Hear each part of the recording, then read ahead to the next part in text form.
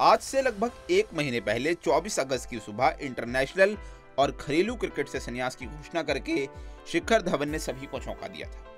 लेकिन उन्होंने अचानक से संन्यास आखिर क्यों लिया? इस वजह का खुलासा अभी तक नहीं हो पाया था। फैंस उन्हें एक बार फिर नीली जर्सी में देखने के लिए बेताब थे, लेकिन धवन के संन्यास ने उनकी उम्मीदों को भी तोड़ दिया था। सब यही जानना चाहते थे कि आखिर धवन ने संन्यास का फैसला आखिर किसके कहने पर लिया?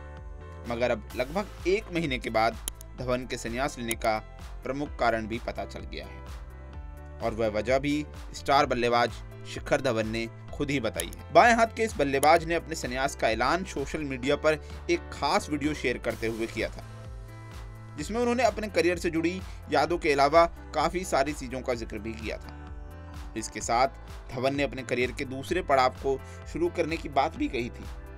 तमाम फैंस जानना चाहते थे कि धवन ने संन्यास का लेने का फैसला आखिर क्यों किया है। शिखर धवन ने इसका कारण बताते हुए कहा कि भारतीय टीम में फिर से वापसी करने के लिए उन्हें घरेलू क्रिकेट खेलना था, लेकिन उनके पास अब प्रेरणा नहीं बची थी। इसी वजह से उन्होंने संन्यास लेना ही उचित समझा। धवन के संन्यास लेने से उनके फैंस को काफ़ी दुख पहुँचा था। वे फैंस के बीच गब्बर के नाम से जाने जाते हैं और उनका मजाकिया अंदाज सभी को काफ़ी पसंद है। इसके साथ धवन को मिस्टर आईसीसी भी कहा जाता है। और इसके पीछे की वजह भारतीय क्रिकेट फैंस बहुत ही अच्छे से जानते हैं। शिखर धवन ने अपने अंतर्राष्ट्रीय करियर की शुरुआत 2010 में ऑस्ट्रेलिया के खिलाफ की थी। वहीं उन्होंने अपना आखिरी मैच दिसंबर 2022 में बांग्लादेश के खिलाफ खेला।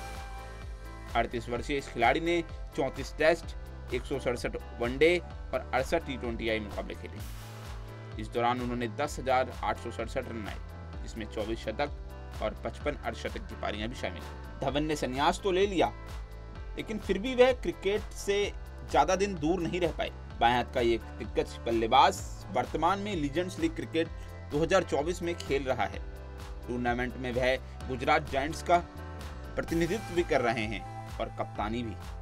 जिसमें उनका बल्ला खूब जोरों शोरों से चल रहा है। शिखर धवन एक ऐसे खिलाड़ी हैं जो टीम गेम को पहले प्रेफर करते थे। आपको याद होगा, जब भारत को 360 रन ऑस्ट्रेलिया के खिलाफ बनाने थे, उस मैच में शिखर धवन की एक आतिशी, धमाकेदार, धुआंधार पारी देखने को मिली थी। उन्होंने पूरी तरह से विराट कोहली और रोहित शर्मा के लिए गेम सेट कर दिया चैंपियंस ट्रॉफी 2013 में यही खिलाड़ी भारत के लिए मैन ऑफ़ द टूर्नामेंट बना था। यहाँ तक कि 2015 और 2017 के आईसीसी वर्ल्ड कप और चैंपियंस ट्रॉफी में भी धवन का बल्ला खूब चला था। 2019 में टूटे हुए अंगूठे से यह खिलाड़ी भारत के लिए खेला और शतक मारा। अब आप हमें बताइए कि क्या शिखर धवन ने सही समय पर संन्यास लिया था, या अभी भी उनकी टीम में वापसी हो सकती थी हमें कमेंट सेक्शन में ज़रूर बताएँ। इसी तरह की क्रिकेट से जुड़ी खबरों को देखने के लिए देखते रहिए क्रिकेट केसरी, और वीडियो को लाइक और शेयर करना ना भूलें। साथ ही नोटिफिकेशन बेल ज़रूर बजाएँ।